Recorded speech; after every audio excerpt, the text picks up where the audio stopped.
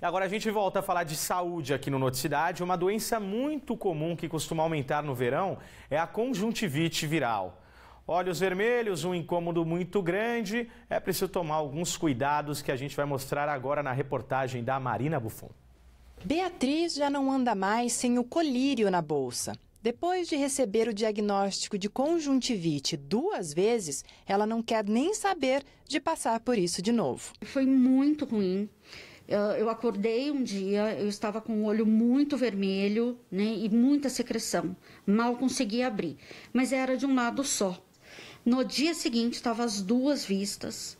Né, daí eu mal consegui enxergar, foi muito forte. Né?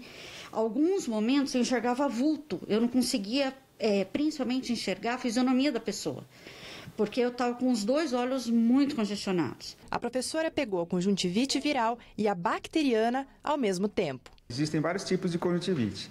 É, tem desde conjuntivites alérgicas, é, conjuntivites infecciosas. As mais comuns são as conjuntivites infecciosas, principalmente por vírus. Essa mais comum é mais fácil das pessoas se contaminarem. Né? A gente tem que examinar para tentar diferenciar os entre esses tipos para ver qual que se encaixa na, no caso daquele paciente. Né? É no verão que a conjuntivite viral acaba tendo o maior número de casos. Isso acontece porque é nessa época do ano que a gente se encontra mais com as pessoas na praia, na piscina, e aí o contágio fica muito mais fácil. Por isso, é preciso ter cuidado. Acaba facilitando de a pessoa ter contato com o, o causador da, da, da, infecção, né? ou seja, a secreção do olho de uma pessoa passar para a secreção do, passar para o olho da, da, outra pessoa. Né? Então, é, tomando esses cuidados de é, evitar essa, é, esse contato mais próximo, você diminui a chance de, de ser contaminado, né? Ou seja, evitar de pôr a mão nos olhos.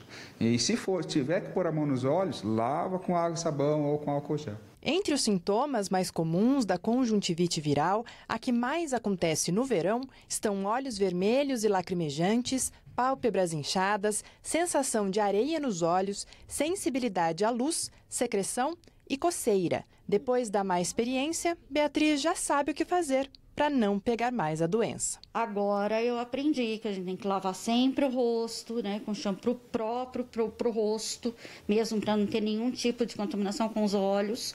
Né, lavo sempre as mãos, nunca mexer nos olhos. Né, com agora a gente escuta falar muito isso por causa do Covid, mas na verdade assim, não colocar as mãos nos olhos. E se precisar colocar, sempre lavar antes as mãos, né? O lencinho nunca passar de um para o outro.